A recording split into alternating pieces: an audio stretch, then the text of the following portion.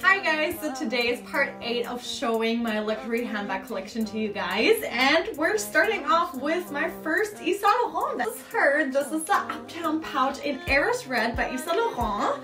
You can wear it like this. You can also get a chain and attach it. Open, chain in, close.